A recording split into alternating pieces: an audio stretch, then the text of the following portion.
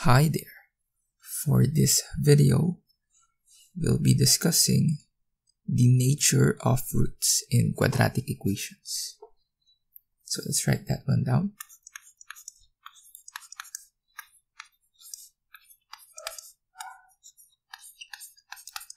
So basically, this topic is useful in determining the whether our roots in a quadratic equation is imaginary, real, or distinct, and so on, without even needing to solve for them. So if we have a quadratic equation out here, a x squared plus bx plus c equals 0, wherein a, b, and c are the coefficients. Then we have what we call the discriminant, which is represented by d equals b squared minus 4ac. So this discriminant out here is the one discriminant there. This is the one that we will use to determine the nature of our roots. So upon getting the value of d, we have several cases. If d is less than 0, then our roots are 2 imaginary roots.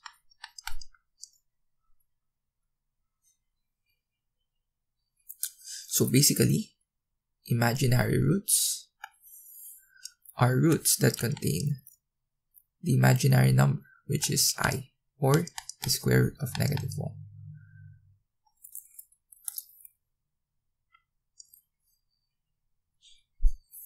Next case, if we have d is equal to 0, then we have two real and equal roots.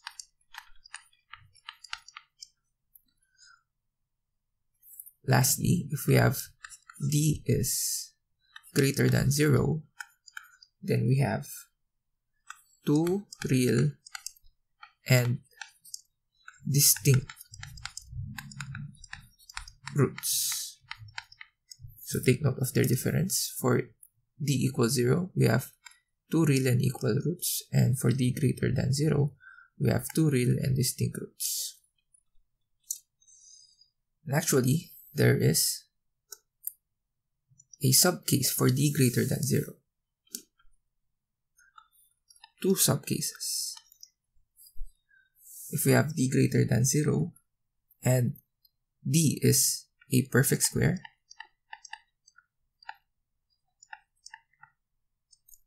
then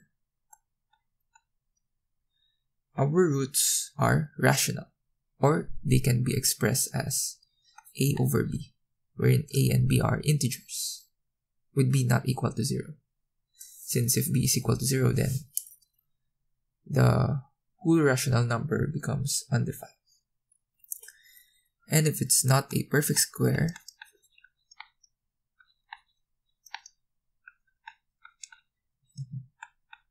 then our roots are irrational or they cannot be expressed in the form a over b. So take note of these and if you have your notes, copy this already since this will really be essential in our examples later.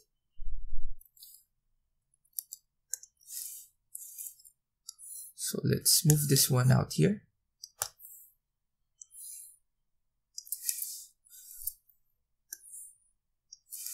And let's try to resize this. As a guide. Okay, let's start with our first example. Let's have x squared plus 4x plus 4 equals 0. So again, the first step is to determine the coefficients.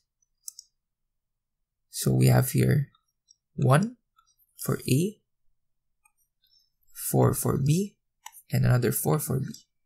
For C, rather. And now let's determine the discriminant. So we've got D is equal to B squared, which is 4 squared, minus 4 times A is 1, C is 4. This is equal to 4 squared is 16, minus 4 times 4 is 16. 16 minus 16 is 0. And so we can conclude that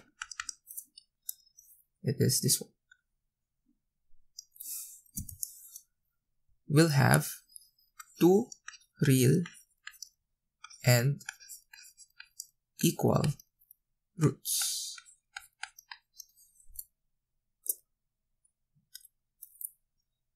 Indeed, you can verify that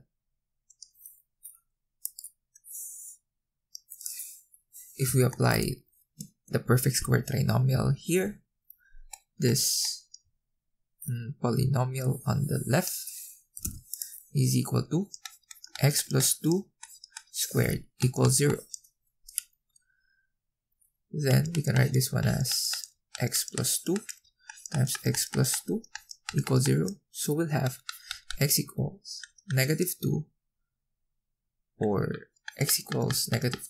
Now you might see that this is just one root since they are the same. And that is true, but since we're dealing with quadratic equation, what we do instead is we write x equals negative 2 multiplicity 2. So basically we use the multi multiplicity out here to signify that x equals negative 2 appeared twice.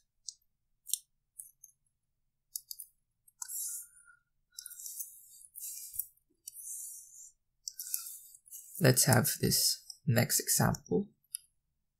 Let's have 4y squared minus 9 equals 0.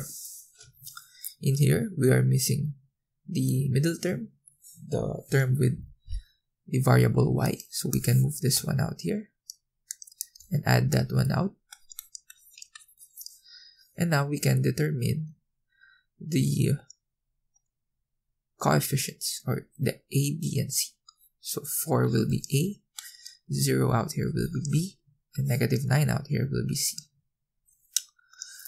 So we have b is equal to b squared. So we've got 0 squared minus 4 times a is 4 times c is negative 9. This will become 0 will simply cancel out here or it's just 0 so we can disregard it. Then we've got mm, negative 4 times 4 times negative 9 when simplified that is 144 so we know that it's greater than 0. And furthermore, 144 is equal to 12 squared. So it's all, it's greater than 0 and it's a perfect square. And so we can conclude that since d is greater than 0 and perfect square, so it will be this case out here.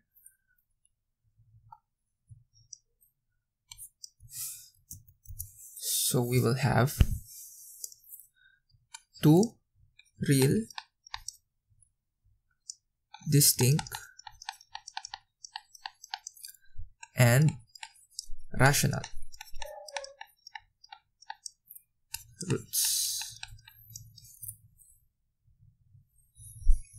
Indeed, you can verify that the roots in this equation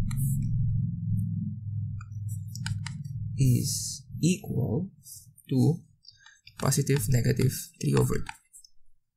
So it's real, distinct since we have positive, negative, and it's rational since we can express, this, express it in terms of fraction.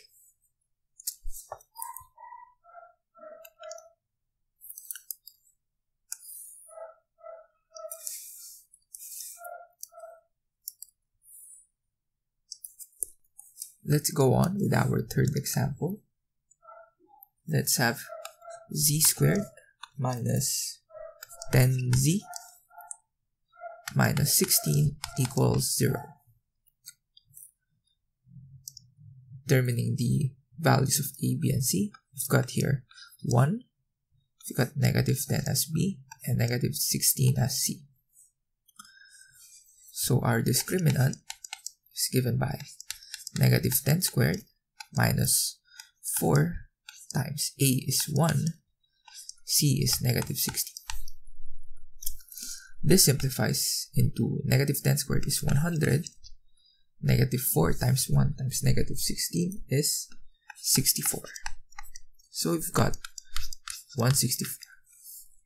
So we've got b equals 164, which is greater than 0.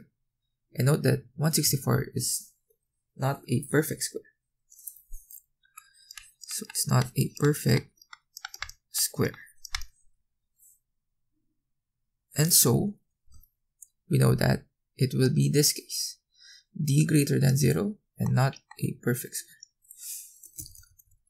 So we can conclude that we'll have two real, distinct,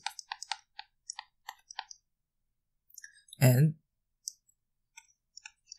irrational roots. And again, you can verify that the roots of this um, equation will be z equals 5 plus minus square root of 41. So indeed, it is real since we don't have any imaginary numbers out here. It is distinct since we have plus minus out here. And it is irrational since we contain or we have a radical out here. If you're asking how to verify this, you can apply the factoring method or probably not factoring method out here, but you can apply the completing the square method or the quadratic formula method which you can check in the previous videos.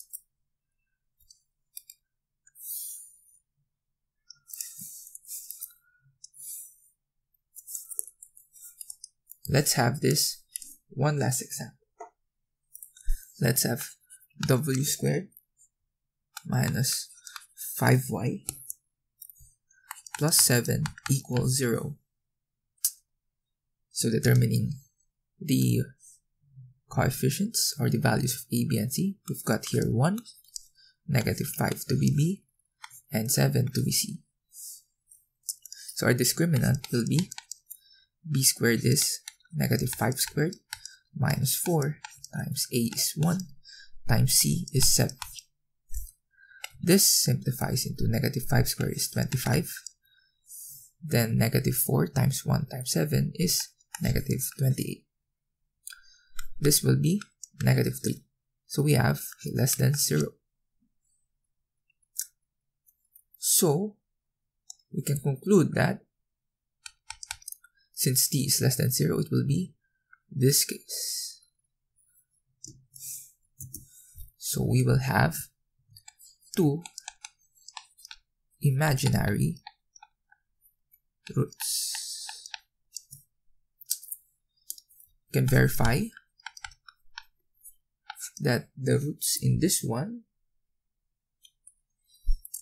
are w equals 5 plus minus square root of 3 i over 2. So indeed, there is an imaginary number here. So the whole root becomes an imaginary root. So that is how nature of roots work.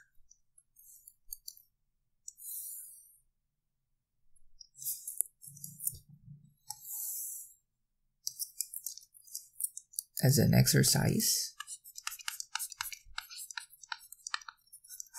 you can work on this two examples. First is 2z squared minus 8z plus 5 equals 0. And next, we've got 3y squared minus 7y plus 9 equals 0. So your goal is to determine the nature of the roots of these examples without even needing to solve for them. But you can solve for them after you determine its nature to verify if you got it correct. So that's it for this video. I hope you learned a lot from this one. You can comment down below your answers and solutions to these exercises. So that's it and that is all for this video.